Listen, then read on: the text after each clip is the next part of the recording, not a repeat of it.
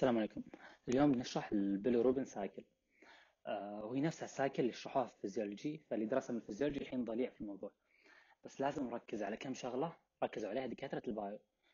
أول حاجة لازم نعرف إيش البيليروبين البيليروبين هو ال by-product اللي يطلع لما ينتهي ال life span أو العمر الافتراضي لل RBCs اللي هو 120 يوم ويصير لها destruction خصوصا الهيموجلوبين بيطلع لنا البيليروبين وهي الصبغة اللي يشوفها في مرضى اللي عندهم jaundice سواء في ال sclera أو ال mucous membrane طيب البيليروبين أول ما يطلع تكون مشكلته إنه water insoluble ال water insoluble ما راح يقدر يمشي في ال circulation freely ف to be water soluble يحتاج fluids و enzymes وعمليات كلها موجودة في ال liver.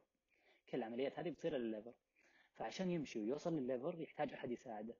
واللي بيساعده في الحالة هذه هو ال plasma protein اللي أخذناه في جزئية ال med واللي هو الالبومين الالبومين بيسوي مع bilirubin complex ويوصل لل liver.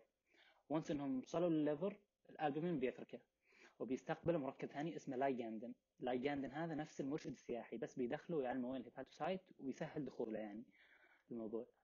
خلاص إذا دخل ال hepatocyte الحين تجي العملية اللي تخلي البيلروبين water soluble واللي هي ال conjugation وش ال conjugation ال conjugation ارتباط البيلروبين مع مركبين من glucuronic acid والعملية هذه mediated by enzyme مهم إنه ينحفظ which is glucuronide transferase.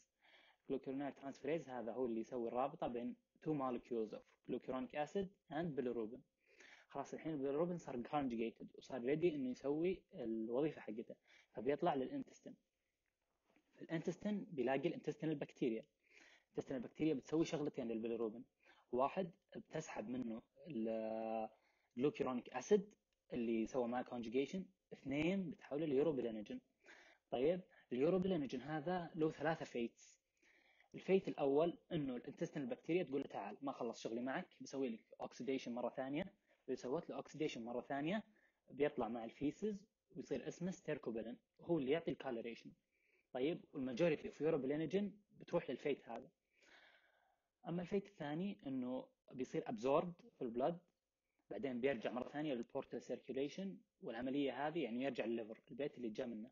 العملية هذه اسمها enterohepatic circulation okay ال fate الثالث إنه يصير absorbed من ال blood لكنه بيروح لل kidney و get filtered هناك. ولما يطلع يصير اسمه urobilin هو اللي يعطي ال coloration أيضا. هذا ال bilirubin cycle باختصار والحاجات المهمة حاطينها بالأحمر لكم. ولخصنا لكم هنا ال fates الثلاثة لل urobilinogen وهنا حطيتها في صور إنه أول حاجة destruction of RBCs and hemoglobin بيعطينا بيليروبين البيليروبين بيسوي complex مع الالبومين ويروحون لل liver بعدين بيصير conjugated مع two molecules of glucuronic acid by the enzyme glucuronide transferase. بعدين بعد ال conjugation بيروح لل intestine وبيلقى ال intestinal bacteria بعدين once uh, انه صار urobilinogen بيلاقي ال fates حقته الثلاثة. okay تمام وضحتها هنا بالصور لكن بطريقة كرتون. إنه أول حاجة البيليروبين بيطلع لي. البيليروبين يحتاج سيارة أو حاجة توصله لل liver بما إنه water insoluble. السيارة اللي هي الالبومين بعدين الالبومين بيوديه لل liver. في ال liver قلنا في المرشد السياحي اللي بيستقبل اللي هو ligandin بعدين المرشد السياحي خلاص عرف على ال hepatocytes وكل شيء. بيجون two molecules of glucuronic acid عشان يصير يصير له conjugation معهم. بعدين خلاص once انه conjugated لازم يطلع الحين لل intestine ويشوف وظيفته.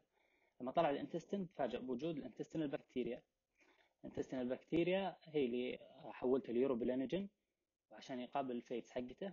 اللي واحد منهم إنه يصير stercobilin ويطلع من feces والثاني إنه يرجع للبيت حقه اللي هو ال liver هذا البيت حقه. والثالث إنه يطلع مع ال urine as urobilin